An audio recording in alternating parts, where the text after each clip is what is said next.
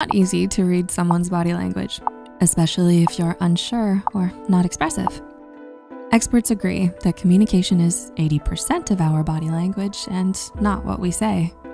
Body language is a way in which we can get an understanding of how someone truly feels. So how can you read someone's body language more efficiently?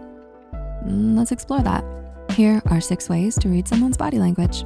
Number one, recognize their normal behavior and personality first. You can't read someone effectively if you don't know how they normally act first.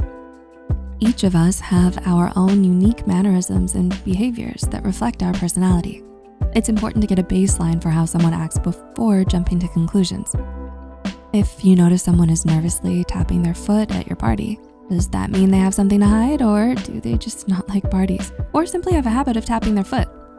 Focus on where their eyes go. When in a discussion with someone, pay a little attention to the direction their eyes are lingering. Are they focused on you? Are they observing the room? Are they looking at their feet? If someone is giving you their full attention, they're likely interested in what you have to say. If they're staring you down though, with a bit of a furrowed brow, then they may be a bit upset or trying to intimidate you. Of course, when someone often drifts their gaze from your eyes, they may be distracted or hoping for the conversation to end. And some people simply don't like maintaining eye contact for too long. So this is why it's important to know someone's normal before you jump to too many strong conclusions. How often does this person you're talking to blink? If someone is rapidly blinking, they may feel uncomfortable with the conversation. Pupil size can be a key sign into whether someone is interested in what you have to say. Our emotions can cause our pupils to change in size. When someone has very dilated eyes, that may show that they're highly interested in what you have to say or even attracted to you. Just pay attention to the lighting of the room before you jump to conclusions. Their pupils could be dilated simply due to a dimly lit room. Notice their posture. How someone holds themselves can reveal a lot about them. Maybe they hold their head high because they've had a good day, or maybe they're slumping in their seat because they didn't quite get a full night's sleep. Notice if someone holds their head high in a manner of confidence, or maybe they have a strong ego and puff out their chest. Judith Orloff, MD, notes that walking in an indecisive manner with your head low and coward could be a sign of low self-esteem in some cases. Posture can reveal much on how someone is feeling for the day too.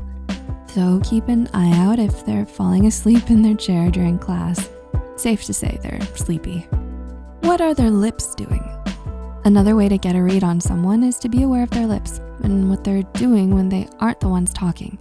If they're biting their lip or chewing their bottom lip, they could be nervous or worried. If someone's mouth is parted faintly, then they're likely comfortable and relaxed. A sign of fear can be when one's lips quiver. This could also be a sign that they're feeling sad. Compressed lips could mean they're a bit uneasy with a situation. Pursed lips could also mean they disapprove of what's going on around them or that they don't trust you. Biting their own lips could also mean that they're flirting with you. Pay attention to what they're wearing. According to personality psychologist at the University of Texas, Sam Gosling, we should notice what people choose to tell us about their appearance. Gosling calls these signs identity claims, and they can include little things like what we wear, tattoos, bumper stickers, to even our screensaver. Gosling explains that identity claims are deliberate statements we make about our attitudes, goals, values, etc. These are deliberate choices, so pay attention to what people want to convey about themselves. Look out for particular facial expressions. There are a few common facial expressions that can give way to what someone is really thinking or feeling. When someone's jaw is clenched and they grind their teeth, that can be a sign of tension. Someone may feel bitter, angry, or contempt if their lips are pursed. Deep frown lines forming? You can bet they're worried or overthinking. Wanna know if someone is genuinely smiling in delight? Look for what is called the Duchenne smile. According to Healthline, this occurs when the zygomaticus major muscle lifts the corners of your mouth at the same time the orbicularis oculi muscles lift your cheeks and crinkle your eyes at the corners. Basically, it's the type of smile that reaches up to your eyes, causing those wrinkles by your eyes known as crow's feet to appear. This type of smile appears when someone is genuinely happy, as opposed to a polite and kind smile, or even a forced smile. And there could be an easier way to interpret different smiles. Cardiff University's Magdalena Rychlowska and her colleagues of researchers developed a classification of smiles and their effect on others with the help of a complex modeling program used in 2017.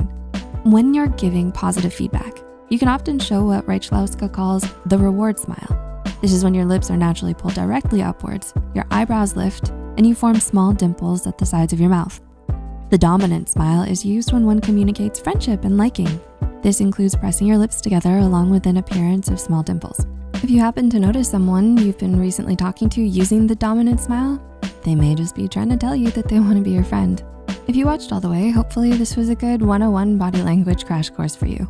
We also have a video here on signs someone is highly attracted to you. Feel free to check it out.